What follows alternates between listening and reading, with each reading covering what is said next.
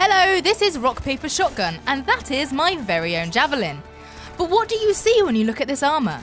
Maybe it's the garish colour scheme, more interested in looking fabulous than blending in with a harsh jungle world.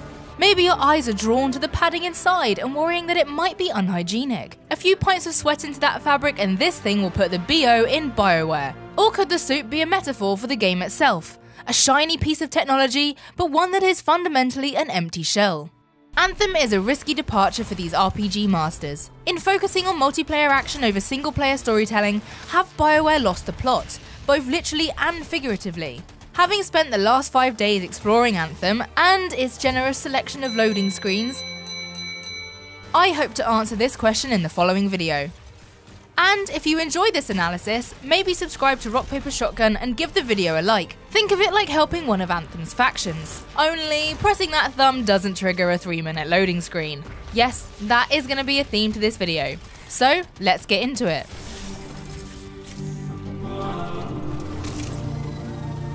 Your enjoyment of Anthem hinges on whether you buy into the fantasy of owning your own power armor. So it's lucky that the Javelin experience is the one thing the game really does get right. You don't feel like a fleshy third person action hero wrapped in tinfoil, but a serious piece of military kit that can charge you into battle and put you at the centre of firefights that would melt a puny human.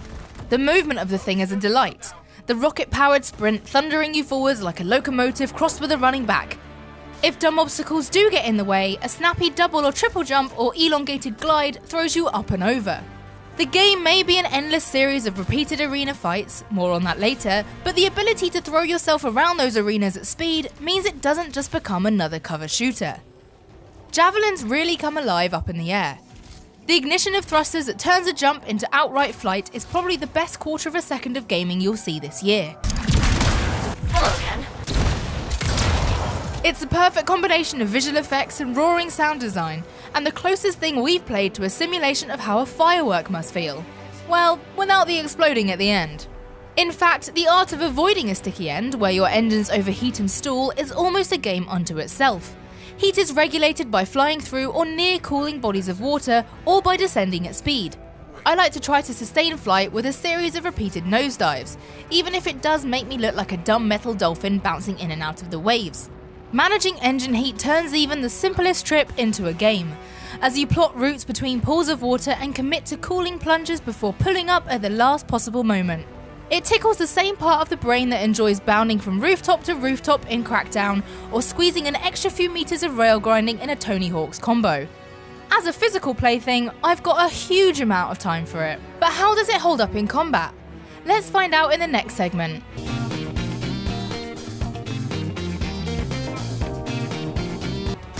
Having built these marvellous flying machines, it's odd how small a role flight plays in combat. You can switch from flight into an aerial hover which lets you snipe over shields and observe the action from a more cinematic angle. But there's not many aerial enemies to pull you into the sky. That exciting sky wrestling you watched in the intro cutscenes? I guess someone in the cinematic department got a little overexcited. Fights aren't really about strategic placement, you see settling instead for a spectacle full of flame, lightning, and other painful particle effects. Certain attacks prime enemies for combos that, if detonated with the right move, can amplify or spread the damage in cool ways. I'm a big fan of the sound a successful combo makes. It's like BioWare asked scientists to capture the essence of a pat on the head in audio form. I will never get bored of that. If, like me, you get addicted to that sound, maybe equip yourself with gear that lets you combo without the input of another player. A little poison dart followed up with a cheeky grenade will do the trick. As much as I enjoy move chaining, it's hard coordinating with others. Even with friends on mics, combat is such a flurry of pyrotechnics it can be hard to read the action. Luckily there's nothing on normal or hard difficulty that demands combo mastery in the story campaign, but Grandmaster difficulties that unlock at level 30 promise to force collaboration. We'll do some proper endgame follow up next week. Where combat most disappoints is the guns themselves. It's a shame they're real worldy guns, especially as Anthem is not set on Earth. It'd be much more exciting if there were mm, lasers. I think that's why Storm is my favourite Javelin. It's otherworldly and a proper sci fi creation. The guns have snap and speed, but they don't have weight. I don't feel any connection between the squeeze of the trigger and the damage numbers that spray out of enemies. And in the early game at least, the weapon drops are such stingy upgrades, the exact same gun but with a point or two more of hit damage. In a loot driven shooter, the loot has to be desirable or the game has no drive. Hey, good to see you. You're a freelancer, right? I think you knew that. The visual polish and satisfying feel of Anthem is kind of a surprise after what we saw in Mass Effect Andromeda, a game that had more glitches and bugs than there are stars in the universe. But for all the mistakes it corrects, it somehow manages to dump everything BioWare do usually get right. Mainly the stories. The decision to shift all the storytelling into a single player hub city, think Destiny Citadel or the Division's base of operations, was always a risky one. And it's a risk that doesn't pay off. The entire world has to be born out of casual chatter, snippets of NPC dialogue, or a radio show. When you do properly engage characters in conversation, you're limited to just two dialogue responses, and neither option has much effect on overall relationship status or story. And the only people I felt I really helped through chatting is eventually sorting out Leanne and Mora's problems. In total, I felt like I talked to the entire cast of Anthem for less time than I spent with any one member of Normandy's crew. It's a shame, as the voice acting is great, delivered by actors from some of my favourite shows Brooklyn Nine-Nine, Flight of the Conchords, and Chuck, and BioWare can still deliver the feels. One story with Merelda about telling a very difficult lie for a good reason came out of nowhere and really hit me in the heart. But this is the exception, it mostly feels shallow, and I think that's why I struggle to form any attachment to any of the characters in Anthem. It bugs me when you see non talking NPCs deep in conversation with one another with no noise coming from their mouths. I walked past these boring lip flappers so many times I begin to imagine words in their mouths. Oh, no, no, no. These aren't loot boxes. These are loot pots. Entirely different. So I said to him, if you think that's long, wait until you see the loading screens. what do you think this plinth is going to be for? It'll be a later content drop, probably. It doesn't help that Fort Tarsis is so drab compared to the outside world. When the game was revealed, it was shown as this grand exotic bazaar, but in reality, it's just a few stalls selling pots. This is how people must have felt attending that Fortnite event in Norwich. Behold, the Fortnite caving experience. One thing I do like is the way Fort Tarsis changes over the story. Look, my pond is clean and has fish now. If that's not worth the £60 admission fee, I don't know what is. Elsewhere, shops begin to open, the bar gets busier, you're able to unlock javelins for your enclave, and Fort Tarsis slowly opens up as you watch as the city falls in love with freelancers again. You get a glimmer of what BioWare were trying to achieve here, but it still feels like extra fuss. It's telling that I often prefer to dip into the launch bay, the social hub area, which offers much the same functionality, just with fewer steps between the things I want to reach. Of course, your relationship with Fort Tarsis, and the game more generally, will be tarnished by loading screens you sit through to get to it. This may sound like a petty nitpick, but you've never seen a game do loading screens like Anthem does loading screens. It's not specifically the length of them, although without an SSD or even better an NVMe you are going to have a terribly long time to wait. No, it's the sheer number of them. There's a loading screen from Fort Tarsis to the Forge where you equip your javelin. There's a loading screen back to the fort. There's a loading screen when you load the mission. There are loading screens as you move to inside areas of the map, despite BioWare promising one seamless world in an interview last year. Looks like someone came down with a case of the Molyneux. The one thing I really like is the loading screen that kicks in when you are too far from your party. Something that tends to happen because you were slowed down by, yep, a loading screen. Yes, this is a game that holds you back with loading and then punishes you with more loading. I'd like to offer a more sophisticated analysis, but what the actual fuck? And once you beat the mission, you get to do it all in reverse, loading back from the open world to Fort Tarsis or the Forge. I have spent so long looking at this image, I'm amazed it isn't burned into my screen, forcing a scary looking robot man to loom over every other game I play.